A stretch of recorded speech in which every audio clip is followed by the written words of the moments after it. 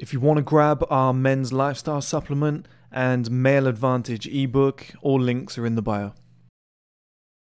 Back in 10, 15 years and go, this is so stupid. Why have, why why was that never a thing? Like we this is food that is being touched and handled by about 10 different people going through like two or three different countries. I needed to know who was touching it, where it's been. You know, imagine, and here we go, here's how it connects to the pandemic. Would you would you a year ago have eaten an apple that had come from Wuhan?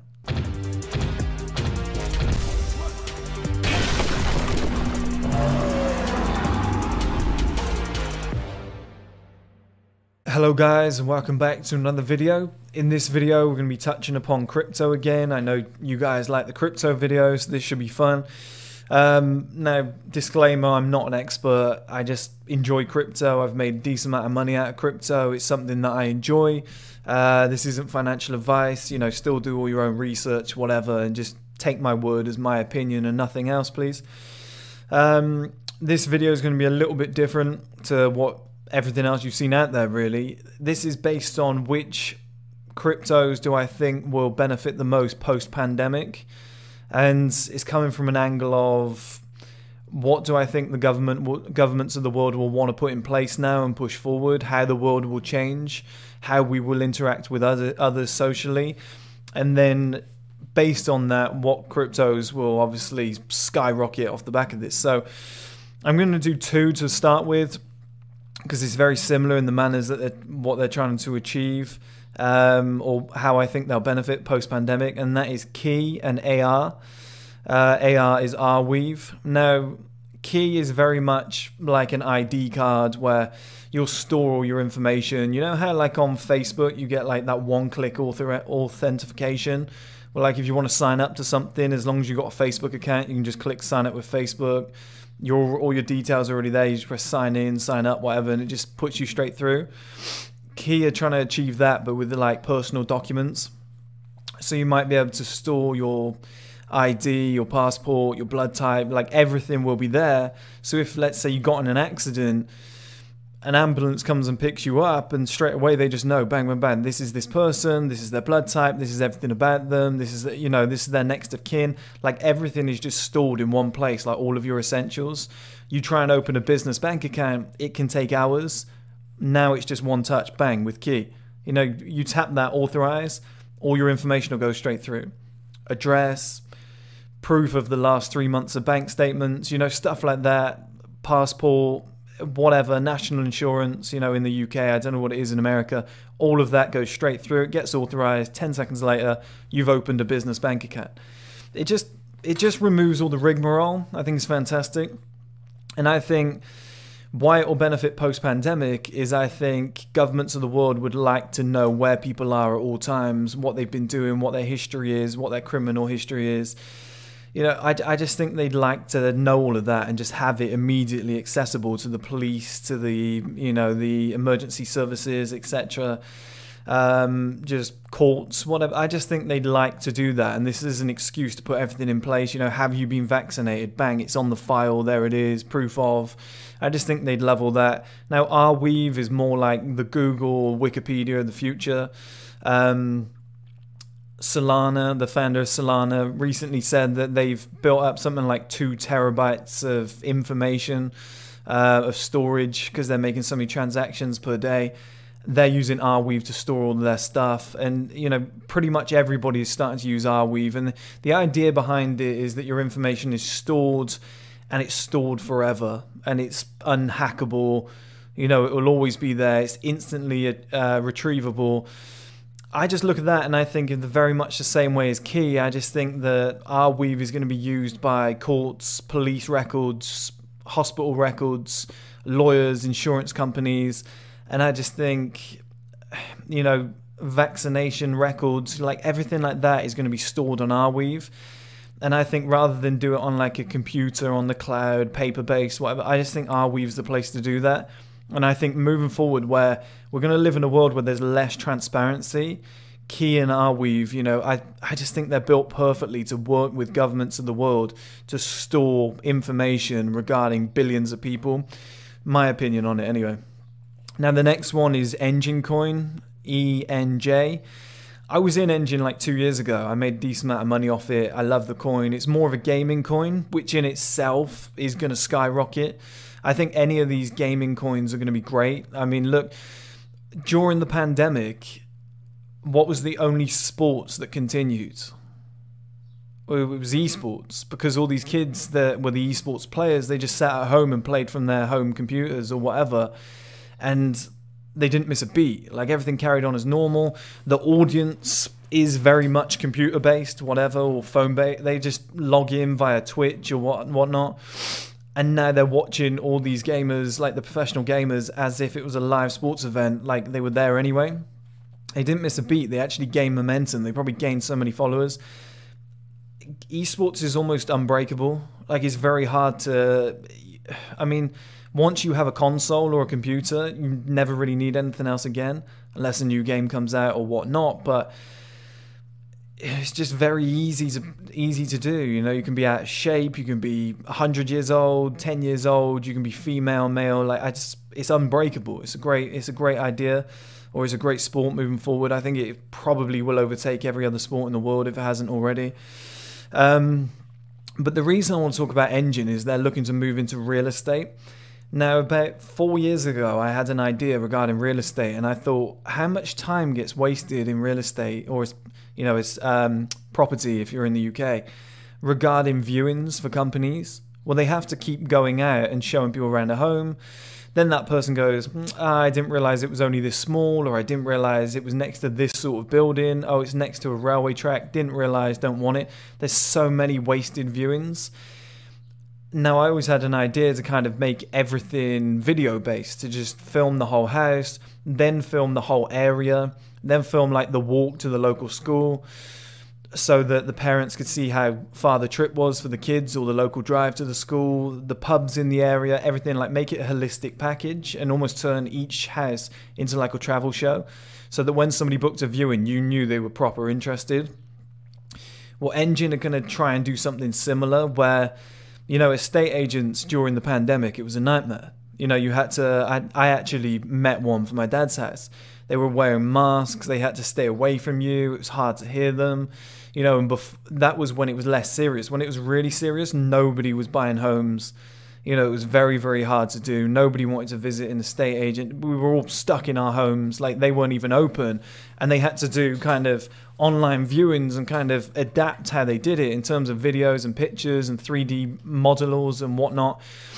Well, what Enjin are trying to do is cut out the middlemen, and they're going to have crypto contracts in place where there'll be two different parties, okay, the buyer and the seller, no middlemen. And if you want to, you know, the the seller puts the contract in place you know, with the help of better technology and everything online, there might be a video of the whole of, of the place. You can deal with everything through that individual. You don't even have to meet. You can just purchase that property immediately. You know, as long as the person on the other end approves, bang, bang, contract goes through, it's dealt with. There's no estate agent fees, there's no extra shit that comes with it. It's just such a more efficient process and it changes hands a lot quicker. I, I don't know if deeds will be stored on there or whatnot, but it just makes it flow so much easier. It's just so much quicker. And I think based on the way that people are looking at real estate now, estate agency, and going, you know, we don't necessarily need somebody to show us around the home if we can see the whole holistic package. If Enjin can present that idea that I explained, which I assume they will, they're an intelligent company, and then have the contracts in place, they're changing the whole industry and taking it over. And then that's not even to mention if it becomes virtual real estate as well. You know, like Decentraland, Manacoin, where they might have both on on on show, where they do a VR world where you can actually buy real estate in the virtual world, then in real life. Who knows where that goes? But in terms of how the pandemic will change it, I just think people looked at real estate agents and whatever and thought we could bypass all of this. Like we don't necessarily need it all. The next one is XRP whatever you think of the pandemic, if it was created, if it was just happened naturally, okay, if it did really happen the way the news likes to tell us, okay, which is all propaganda, so I don't believe a lot of it. It's inevitable, and this has been coming a long, long time. Everything is pointing towards a one world government and a one world currency. Okay, this has been something that's been pushed forward for for decades now, and I think they're very close to being able to do it. Now, XRP is perfectly positioned. It's the most it's the most environmentally friendly. Um, it has everything in place to be able to do it. It's a better option than Bitcoin to be able to pull that off. Um, I just think once it wins the SEC lawsuit, like completely wins it, gets everything out the way, it's going to skyrocket to like $20, something like that, which will make people a lot of money. If you hodl just a few more years and it becomes the adopted one world currency, which, if you look into a few conspiracy videos, which are actually really helpful in crypto, it's been spoken about quite a lot that that's the coin they're going to use, okay? If that happens, it becomes a one world currency. I mean, guys, that's an absolute game changer. Now, who knows if it if it does? You know, I'm not saying it will. I'm just saying the possibility that it could could skyrocket the price leading up to that. They might switch and use something else, but you know, might not become a one world currency. There might never be. It just looks like a more feasible thing that's going to happen right now. Okay, it's just just my verdict, and I've got a lot of XRP. I'm sitting on it. I'm waiting. Okay, and it's it's not even just one world currency either. It's it's connected to DeFi. If you really look into it, it's connected to DeFi, and I just think XRP has massive potential. Now, the next one I'm really bullish on is VET, VeChain.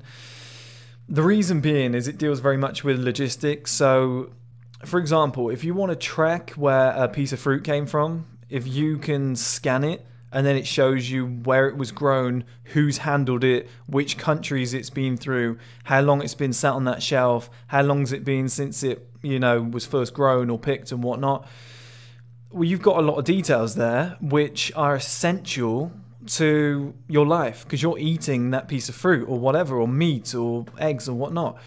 Why has this never been a thing? Why has this never been in place? I think we'll look back in 10, 15 years and go, this is so stupid. Why have, why why was that never a thing? Like we this is food that is being touched and handled by about 10 different people going through like two or three different countries. I needed to know who was touching it, where it's been, you know, imagine, and here we go. Here's how it connects to the pandemic. Would you, would you a year ago have eaten an apple that had come from Wuhan, had been handled by somebody in Wuhan, or even just China in general? Probably not, right? A lot of people weren't buying electronic goods from China because they were shit scared about that. I think with VET tracking everything, especially in the food industry, VET is going to be able to track and, like I said, give you all the details of where it's come from, who's handled it, how many countries has it been to, how long has it been since it got picked, how long has it been on the shelf for, you know, all these different details that you'll need to know. Maybe even calories when it all comes up, you know, who knows. But I think that's so essential because then you know who you're buying from, you know if you want to support that country, you know if it's been handled by a country that's just had an outbreak I mean, it's a no-brainer to me, guys. I think sit on VET for like the next three years. You will not regret it. Okay, I just for me that just makes perfect sense. Okay, guys, the next one is RSR. It's currently being used by Venezuela. It should have been used by El Salvador. El Salvador decided to use Bitcoin. Um, RSI is a de-inflationary coin. Why this is fantastic is in the last year, I think the US printed 50% of all the money in existence in the last year. Okay, so all the all the money in existence in the US, every dollar in existence, fifty percent of it was printed last year. It's never been done before. That's crazy. They're printing money in record numbers. Um, I've seen rumors that they're sending it to large companies to put on their balance sheets and fake profits for the year, etc. Just to kind of, oh, you know, the recession hasn't hit yet. We're in a recession. Okay, we've really been smacked by a recession the economy is being propped up by just printing too much money. When there's too much money, you're just asking. When too much money gets printed, it becomes worthless. This happened in this has happened in multiple countries. I think Zimbabwe, where they were taking wheelbarrows of cash to the shop to get milk and bread. People started using it as wallpaper because it was so worthless. The more you print, the more you're just asking for hyperinflation, superinflation, however you want to say it. And um, RSR can protect against that. And I just think, you know, that could end up being XRP, but RSR is a very good shout for a lot of smaller countries who might see RSR as a great option. Um, And if it does 10x in value, then those economies are going to 10x too, which is just fantastic for those economies. And I just think I just think that's a plausible outcome that the whole world just experiences hyperinflation. Every country's printing so much money that they just put themselves in shit street and they're going to need something like RSR with a limited supply to bail them out, in my opinion. Uh, the next one is SNX, which is Synthetix. Now, we can see this year banks can't be trusted. We've seen in the past with companies like Northern Rock, banks cannot be trusted. Like, you think about what a bank actually is. It's basically you lot saying, hey, Chris, we're going to give you all of our money. Just hold it for us, would you? And when we need it, just give us, you know, just give it back to us. It's just so silly. It's like one central bank holding all of the money or multiple central banks, but it's kind of just one centralized kind of industry just holding all of your money and you trust them to do so. And that's why DeFi is just going to be so essential moving forward. And Synthetix is at the helm of DeFi, in my opinion. Um, it's already established. You know, Lina's very good too. It's like it's been described as Synthetix on steroids, but Synthetix is obviously more established. Every top expert expert in the industry thought it would hit thousand dollars this year. Um, I still think it will hit about three, four hundred dollars at some point, which would make people very, very fucking rich. Okay, if you put a decent bag into it. I just, I just think DeFi is coming. Is it coming quickly? I'm not sure. I think the pandemic will speed it up because people are seeing the flaws of money being held by banks, them being able to print so much more money it's just I just don't think the economy should just be propped on just a handful of fucking people at the top who are just controlling all of our money and can just say at any point bankrupt. Everybody, you know, all of your money's gone. So I know DeFi is going to come in with Synthetix being at the helm of that. I just think it's the safest bet. Wouldn't be shocked if 5 years down the line it really takes over. Maybe it will take 10 I love long term investments. I just think that's where you should be putting your money right now. Synthetix is currently at like nine dollars, five, six pounds.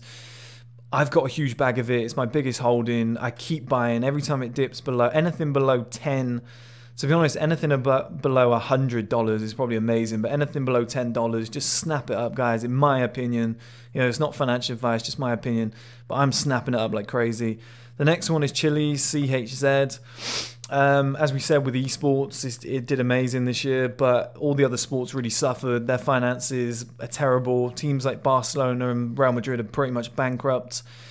Um, they need to find a new way of monetizing, which is outside of just getting fans in stadiums, ticket revenue, you know, watching games, whatnot, buying merchandise. And Chiliz is a great way to do that with fan tokens, you know, where it gives you exclusive rights to to certain things, like maybe players' shirts, auctioning things off, um, first, like voting rights for the club.